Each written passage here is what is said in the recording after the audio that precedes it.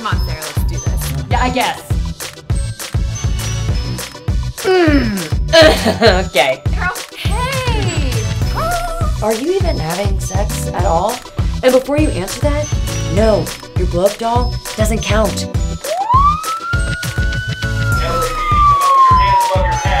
I'm willing to take whatever help I can get fighting off the moon monsters